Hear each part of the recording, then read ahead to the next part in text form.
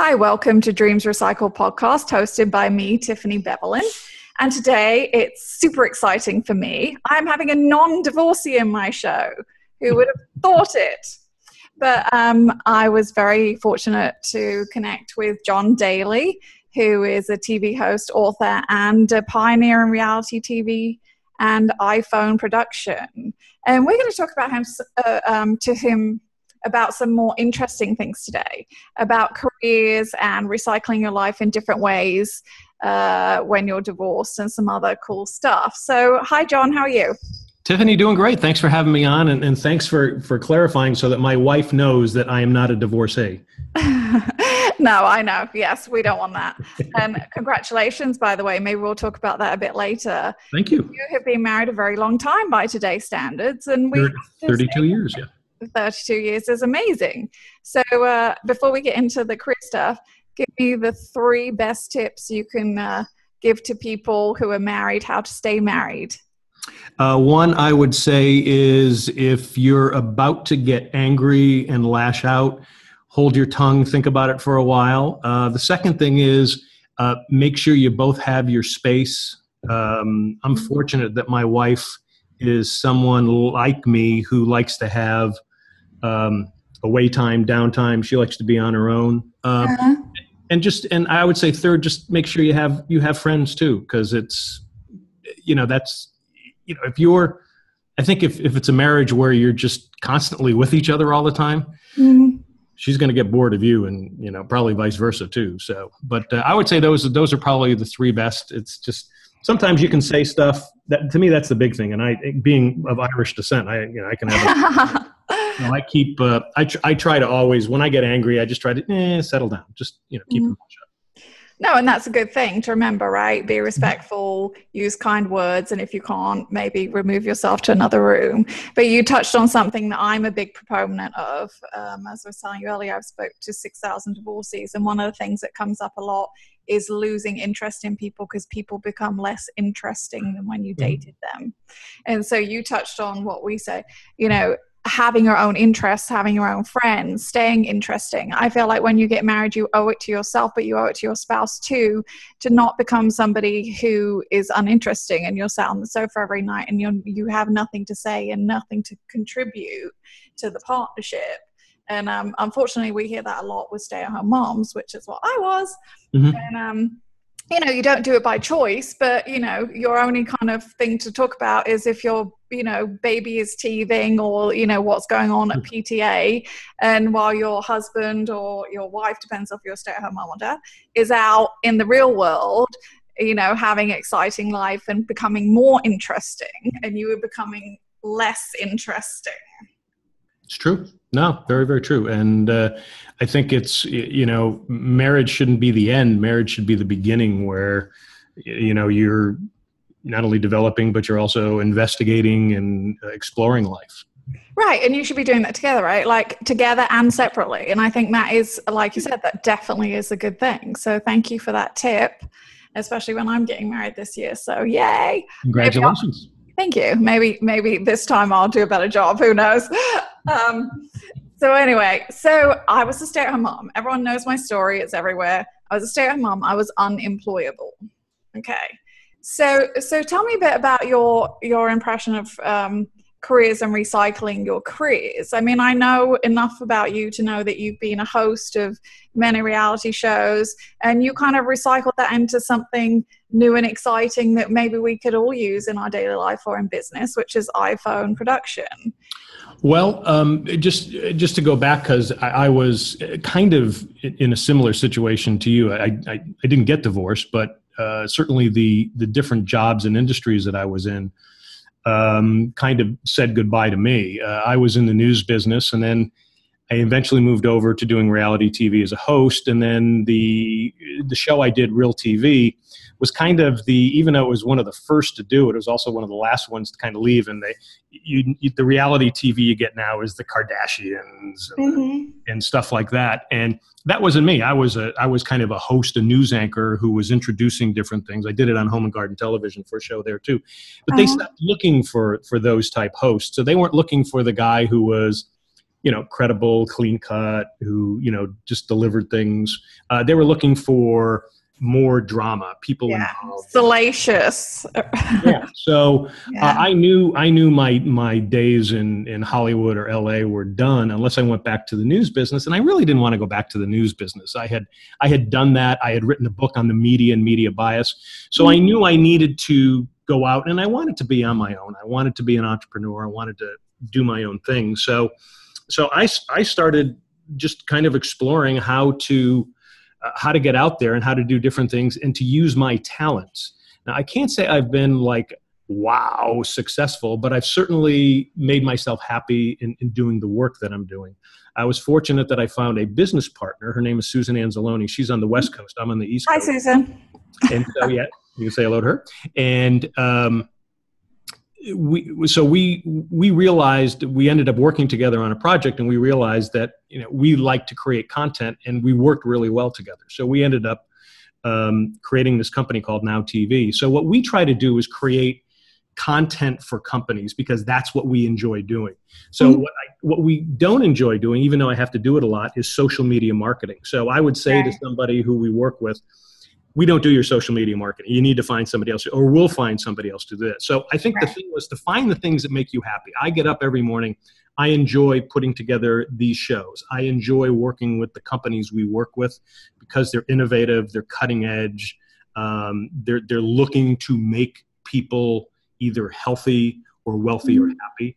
So um, so I made sure that you know that I was happy in in what I would do, and you know for a short while I, I worked in the um, wealth management field. Right. Disaster, absolutely awful. It was the worst thing I ever did. I hated it, even though I love the economics of it. I I Mhm. love learning uh, different things about finance, going deeper in, into it than I normally would as a as an economics reporter.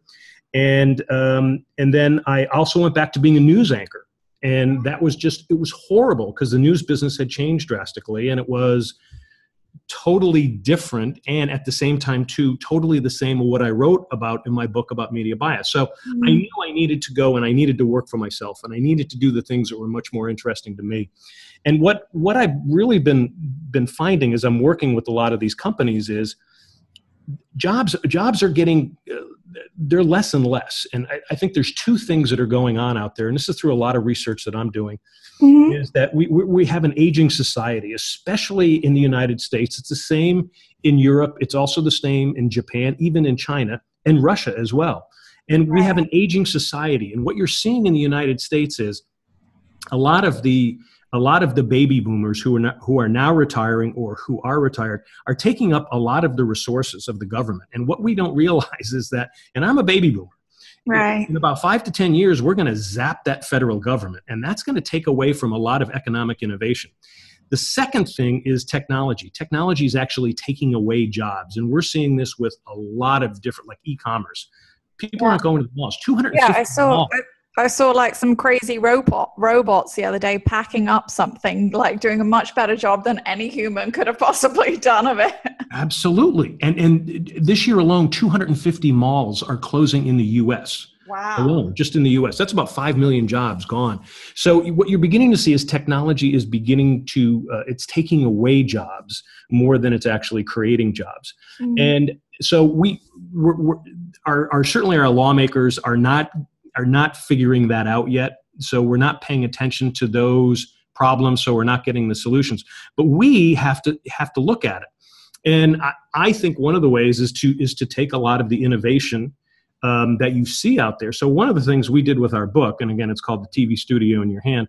Which I've read it and it's awesome. So Thank you you check so that much. out. Thank you so much, and it's quick read too, which is which is which is good. Well, Um, yeah, no, yeah, very practical, very, very good. And uh, you can use it not only for your vacation videos, Mhm. but you can also use it for uh, for you know creating news for your for your sole proprietor business or for your company that you're working with Right. or creating a little niche for yourself where you can create videos for for your company or for your neighborhood you could create a newscast for let's say you live in an apartment building you create a newscast for them or for your neighborhood Yeah. so there's just a lot of different things you can do with the technology out there. And unfortunately, you know, a lot of people get stuck in, okay, this is my job. I lost my job. My job's gone. I don't have to. You got to get out of that mindset and you got to start looking and seeing what's available out there. And unfortunately, it's tough too because financially you're like, oh, I'm at the wit's end here. The good news is the technology sometimes makes it so it's cheaper for you to do it as well. No, and I agree. And uh, as I said, you know, when I can find a job after my divorce from being a stay at home mom, I mean, I think you are. You have those two halves of your brain going at the same time. One half is like practical and like, oh God, I'll go work at wherever just to make, you know, in Florida, minimum wage is like 850 yeah. So, so you go do that because you want to, you know, do whatever. But it's really, you know, I tell people all the time that you got to do what you've got to do clearly but you should really be following your passion. And if you can try and figure out a way like you said whether it's start your own business or e-commerce or like i did my own online company or you did your own handheld reality tv show um, you know to get up every day and feel that you were productive and you're doing something that makes you happy i feel you can't put a price on that and uh, and that's really you know one of the mm-hmm. upsides to me about divorce it really does give you an opportunity to recycle your life from a blank page you know you didn't want that blank page but you got that blank page mm-hmm. and so you know you probably didn't want your reality show to end real tv but when it did it gave you kind of forced you to have that blank page where you could start all over again and make it however you wanted to yeah, and the the other thing is is that you know you have like you said you have to go take that minimum wage job. I mean, I've actually taken bartender jobs just to just kind of keep things keep mm-hmm. things flowing, which I don't mind doing. I don't I don't care. Oh wow, a TV host, she's a bartender. I don't I don't care about that. That doesn't. How do you get bigger tips? Well, I well here's the thing: is that I am a graduate of Harvard bartending school. Oh. So so I demand higher tips. So, yeah. I hope you do, but that's is that true, or are you teasing me? Yeah, actually, it is true. When when uh, when we were leaving Boston after the uh, news anchor job that I, I didn't like, and I was starting my own business, we were moving down to uh, to North Carolina here. Uh, my wife happened to find on Groupon there was a discount for the Harvard bartending school. How funny. And so you actually go to Harvard, and they've got this great bar, and there is a Harvard bartending school that's that's right there. And I had many many years ago when I when I was starting out as a freelance writer and I was a newspaper reporter, I took a very intensive week long course in Connecticut that mm-hmm. required you know not only had to pass a test, you had to get certified. It was and it was a brutal course. And I took it and I passed it and I mm-hmm. never used it except you know at home. So I've always been, which you know ties into the TV show. I love mixing drinks. I love wine. I love the whole science behind everything. So I went and I took this course that my wife got for me. So I spent a full day and it was eight hours. And I thought, oh, I'm just going to have fun. Get somebody dancing around. Oh, yeah, it'd be really cool. The first four hours was a tips course. And tips, ah. I can't remember what it stands for, but tips is what the insurance industry requires bars to have all their bartenders go through so you can learn how to turn somebody off when they've been drinking too much so you don't have drunk. Oh, okay. A liability course. Yeah. So I go four mm-hmm. hours doing this liability. It was like it was like going to law school. and so I had to go and I had to take the test and I, I passed it. I actually and so and I'm I'm pretty good, I guess, as far as taking tests. And I, I had mm-hmm. known a lot of the stuff. Well, you went to Harvard. You should be good, right? Well, I went to Harvard bartending school. Yes, you have to you have to use that pause and then say bartending school. Yeah. And then uh, so in the next four hours we're um, uh, we're we're mixing drinks, but but for me I, I, I think as long as you're moving i mean i i'm one of those people i don't have those okay i've got to be this and mm-hmm. if i am this then i'm going to be happy.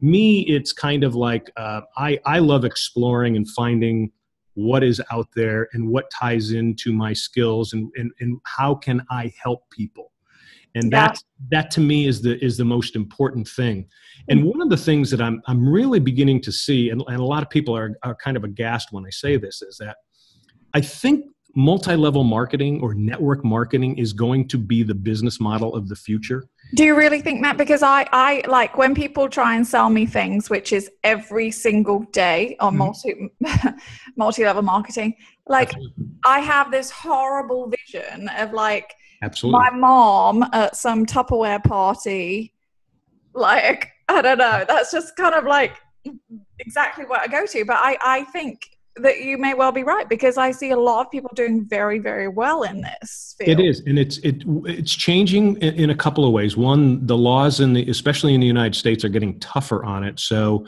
mm-hmm. you can't have because what you're seeing is you're seeing 95 percent of the companies fail, and the people who don't get in on time they get they get screwed financially, and mm-hmm. some people do make a lot of money.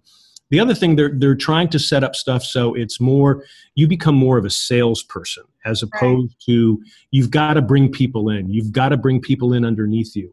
That that is is changing a bit. The other thing is is because of technology. For instance, we're working with a company now. They're out of Malaysia. They've got an e-commerce site that is almost rivaling what Amazon can do.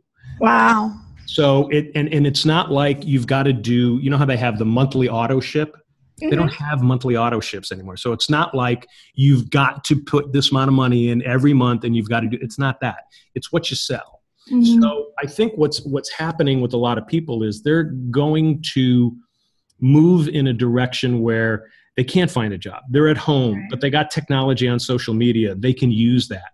The other thing absolutely. is absolutely. Sorry. Yeah, no, I was going to say absolutely because that's one of the things that I tell everyone constantly.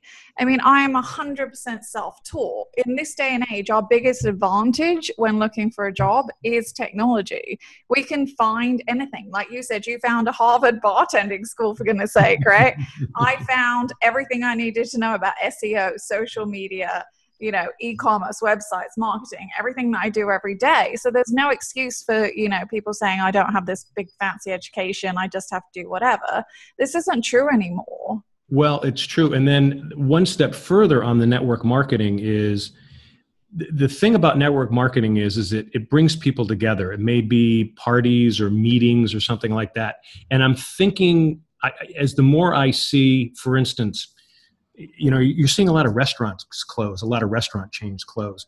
Right. Um, people sometimes are too much into their technology and they really need that human contact.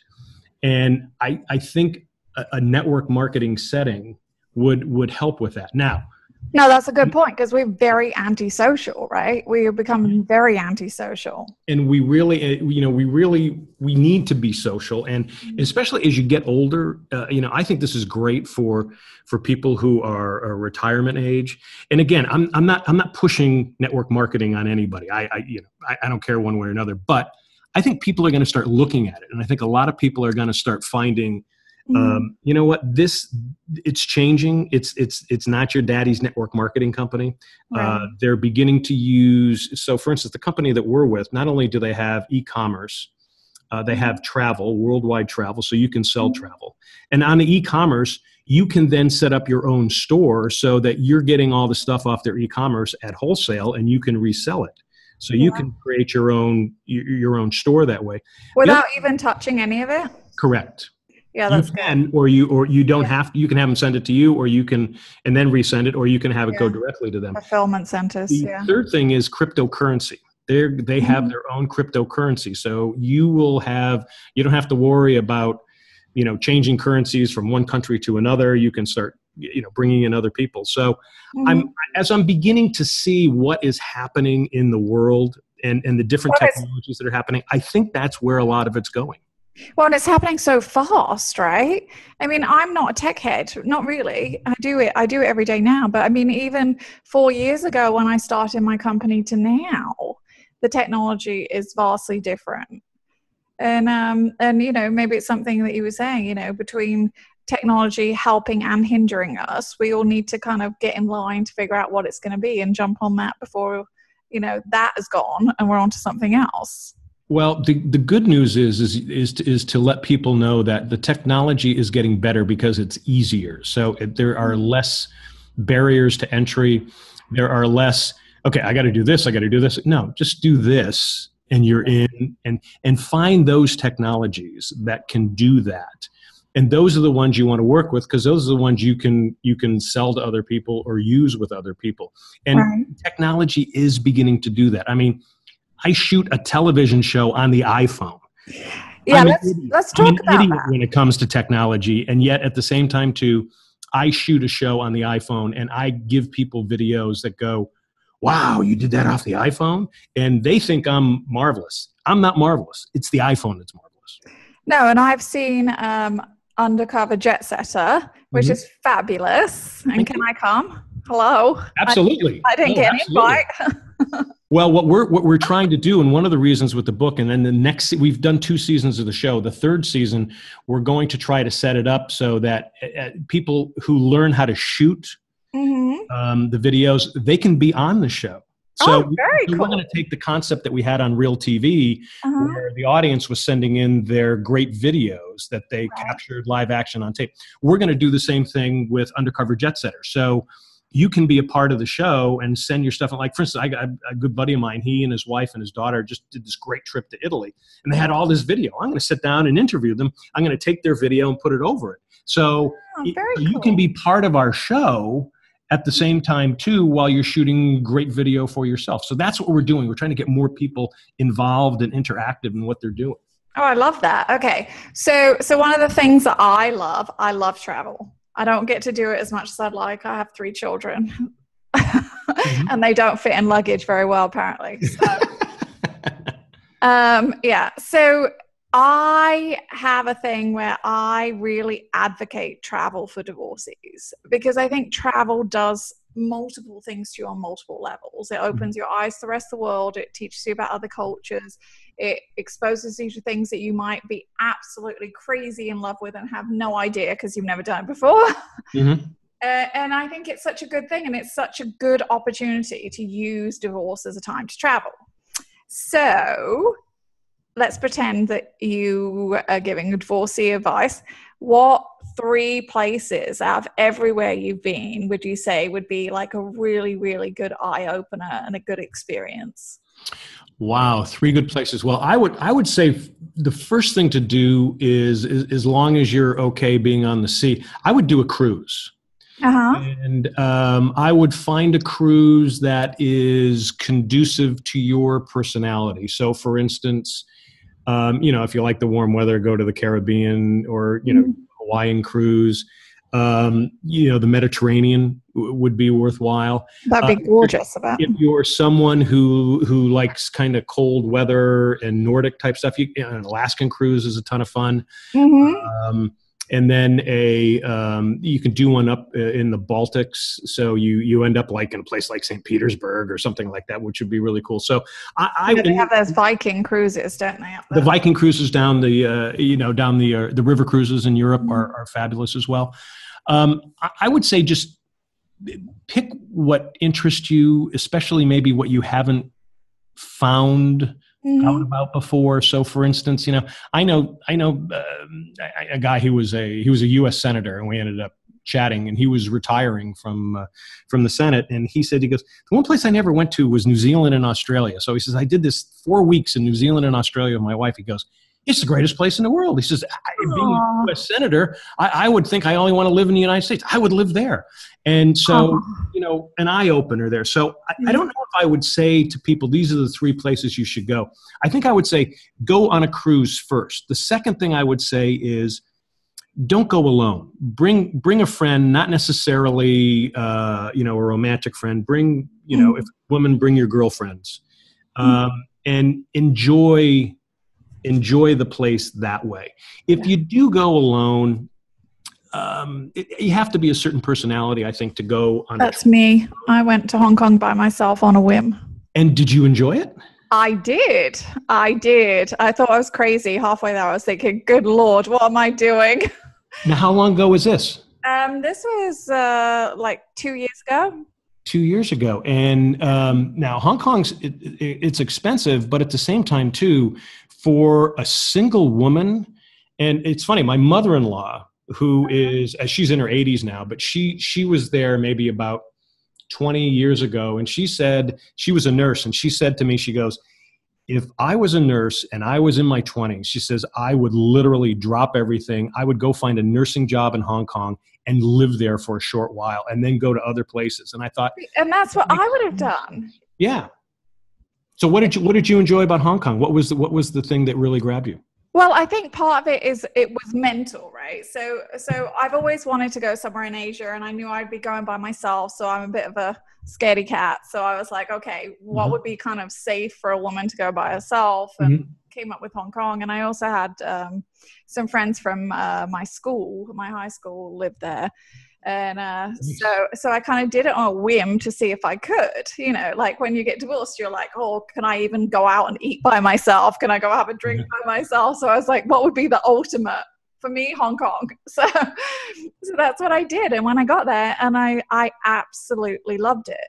I loved the people there, the places there, the scenery. I mean, I just found all of it. I mean, it was just so different than obviously America or Europe. Mm-hmm. And we, the food was amazing. Like, I really, I would have, if I did not have any children, I would have moved there too. Wow. Yeah. And what we what we found was um, when we were there, and we we we did we've done a couple episodes on Hong Kong, and we uh, we kind of said it's it's a combination of New York City, mm-hmm. uh, San Francisco, Sydney, Australia, and Austin, Texas. Austin, Texas. Where did that come in?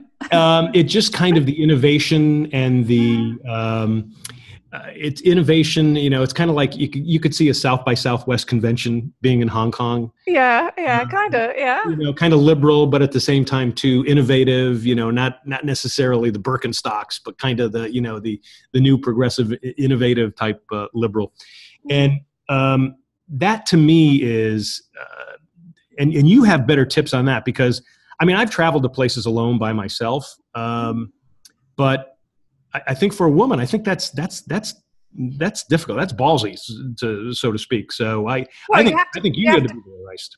Yeah, I mean, you have to be safe, obviously, clearly. I mean, I didn't do, you know, I wasn't going to dodgy areas, as we say in England, or do anything dodgy. Sure. And um, and I think, you know, I obviously there are a lot of areas in the world that you shouldn't go to as a woman by yourself. I think that would not be a good idea. But also there are a lot of other things. So you, you and I were talking a little bit earlier that you have a friend who does um, singles trips. I mean, if you look on the internet, there really are quite a lot of companies that cater mm-hmm. to single people there's um, Backroads, which is one of them that does all bike trips all over Europe, all over the world, actually, for single people. There's, I'm sure, multiple others like your friends, and and uh, Dreams Recycled is in the process of starting one also. But um, you know, you can find a way that you can kind of go by yourself, but with a group where it's safe and it's organized. If that's more your cup of tea, yeah. so to speak. Yeah, and I think you know, and I I I tell everybody, you know, Google it uh, you'll you'll find something, and, and I think you're you're going to be a great resource because I think that's what a, a lot of people, you know, especially divorcees or people who are changing roles in their in their job are, are going to be looking for something like that. And that's that's a good way to do it. One of the things when i when i wrote my book on on media bias uh-huh. one of the best things you can do to overcome media bias is to travel and when yeah, no, very very good point. That's an excellent point. Yeah, when you go to another country, uh, you know, turn on the TV, watch yeah. TV news there. Um, and well, and someone yeah. says, "Oh, all I get is uh, CNN International." CNN International is a totally different than well, regular CNN. I was going to say, and you also in America, you can download the BBC app and watch BBC News, and you're and you're not even sure you're on the same planet. Sometimes you're like, "This is going on. I'm on, you know, American news. I don't see any mention of absolutely all these people dying or whatever it is." Yeah, well, and crazy. you know the other thing is is that because one cameras are everywhere, two social media is everywhere, so you might just be mm-hmm. getting stuff that's just in a specific area that's not going to be out there. But I, I would I would say the most important thing you can do is travel.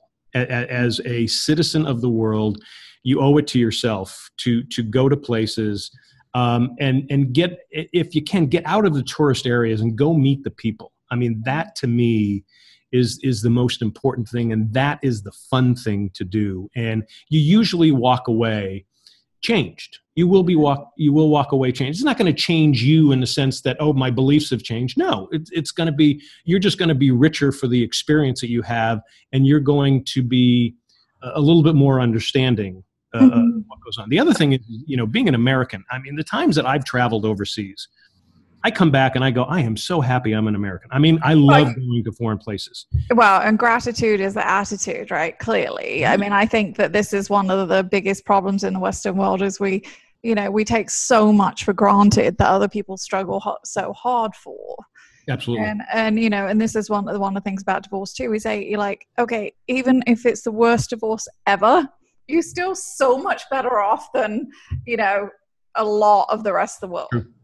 True. So, um, there's a there's a great book um, that it ties into everything we're talking about here, and uh, I'm drawing a blank on the author, but it's the it's called the subtle art of not giving uh and use the four letter word beginning with an F. yes the F and, word. and uh, it's written by a young guy i think he was only about he's only about 28 29 30 when he wrote it Mm-hmm. and um, he and primarily what it is is it, it, it's not so much being you know i don't give up. now it's it's it's finding the purpose in life and really Mhm. focusing on that. And it's getting getting rid of all all the nonsense that that's out there or the, the the chaos that's out there. And one of the things that he he he mentions that articulated it for me really really well was you know if you have a goal in life like i want to be the best i want to be the most popular and wealthiest rock star in the world well that's good. Okay but go find out what the process is. Mhm. will you like the process of doing that? Sure i'd Mhm. like to be up there on stage and banging out tunes and you know having women fall all over me and yet at the same time too what do what do i need to do? And if i do it am i compromising myself? And so he he talks about finding enjoying the means of what you're doing. And so that that clarified a lot to me like i i enjoy putting together videos i enjoy putting together shows uh, I, I don't enjoy talking to somebody about their financials and their retirement plan. That's just not me. So I. I understood. I don't enjoy that. Here's what I do, and I, Well, and life, that's and the life important thing. and life is short to have a job that you don't enjoy. It's a ridiculous amount of hours of your life spent doing it. So if you're not enjoying it, why are you doing it?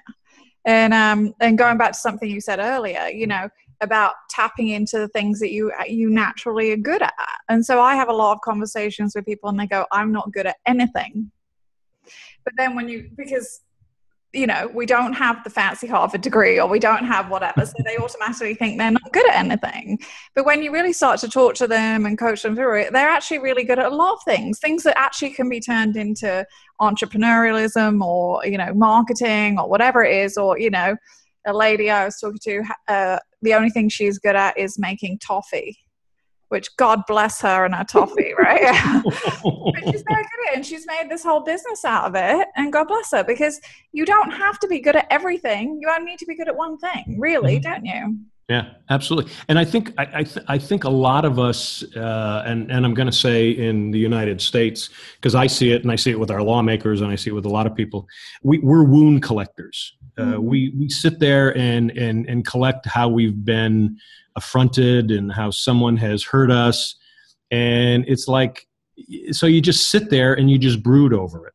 Mhm. And um, to me, we're professional victims is that what you kind of mean yeah, I call it wound collecting, um, and I've, I've I've I've I've done a couple of columns on this. yeah Uh, that's a good term But I I what I always you know n- not that I instruct people, but I always tell people just go do something. Don't worry about it because one of the things you know, and I used to always tell kids like when I was a news anchor and I had to go speak to high schools and, and different colleges, and I would say go find out what you don't want to do. hmm And and how do you do that? You go and you do things and you fail. Or it's like I don't like that. Okay, well you found out you didn't like it. At least you were doing something. But you may have found a skill or you may have found something you like doing connected to it. And well and that's that's a very good point and very good home truth too right? When you learn what you don't want to do you're more definite on what you do want to do. And sometimes even bits of what you don't want to do come in very very handy later on. Like my part of my story is i have a degree in history which i hated. Hmm. which is like and it's not very handy. Like what do you do with that? I don't want to be a teacher. I don't like history. I don't want to do any of that. But it's actually come into play that i'm actually a pretty good writer from doing that Mhm. and so that's how i became a huffington post blogger and author and all the rest of it so you can take little bits and pieces even things you don't really like and use them in your next life in some other way that's more helpful to you yeah, no, e- exactly. I'd, I'd be very helpful for travel too. I mean, you could you could create these travel um, tours and use your history on that. I mean, that's that's exactly what you would do something with that. So it's it's it's keep moving forward. Don't sit there and brood. Mm. sure every everybody has things that go wrong for them. And as long as you're out there doing something and say well i can't think on it well go do some charity work. Go go help somebody. If you can help somebody that will make you feel so much better. And even if it's like okay i don't want to be doing it. okay you don't but just go do it. And at least mm. you're going to find something. And that's the thing is that we, we too many of us and especially this is what's bad about technology we sit on our butts watching mm-hmm. entertainment, watching our phones, waiting for something to happen. Go out there. Go out there and just keep moving forward. And if you move mm-hmm. forward, you're going to change and adapt, and things are going to start mm-hmm. happening for you. One of the great things, Ben Hogan, I'm a big golf fan. Ben Hogan said, Ben Hogan said, he says, uh, he says, I'm not lucky. He says, but he says, I notice, he says, the more I practice, the luckier I get. Yeah, and that is a brilliant, brilliant saying. And so much truth to that, right? Well, John, thank you so, so much for coming on our show today. You've been delightful. Tiffany, thank you. Yeah, very informative. So, just to wrap up, why don't you tell us a little bit about um, TV Studio in Your Hand, um, how this can help us, any budding wannabe reality show peoples? How do, how do they get that, and how do they get hold of you generally? Well, the uh, best way to get the book, you can get the book on Amazon. Uh, and again, it's a TV studio in your hand. And uh, my co anchor and co producer, uh, Susan Anzalone, co wrote it with me. So you can get it under either our names. Um, and you can get it on Amazon, or you can go to um, our website. This is the show's website, and it's undercoverjetsetter.com and you can see the book there, get the book there. Um, you can also see our blog. Uh, we also have some great recipes for drinks and, and stuff like that. Mm-hmm. So you can you can see a lot there. And then uh, the other the other site I would send folks to is if you're more uh, politically, economically minded. Uh, I write a lot on what's going on, especially in the media, and how to decipher what's going on. Mm-hmm. Uh, called informednotinflamed.com. Awesome. So, listeners, check out John Daly on all his uh, avenues and definitely get his book. I highly recommend it. It's actually really, really good. Um, and one last thing, and I'm going to put you on the spot right now. So, I'm going to ask you a favor. After okay. we get off the phone, can you make us the ultimate divorcee cocktail? Oh, oh, that's a good one. okay yes i i will. I will i will come okay. up with that. Uh, you know i am a graduate of harvard you know. I know. uh, i can uh, yeah let me work on that. I, okay. will, I will get one for you. Okay we'll come back to you. We'll post we'll also go ahead and when we get this out we will post it along with john daly's ultimate divorcee cocktail. So thank you very much and uh, we'll uh, we'll be back another day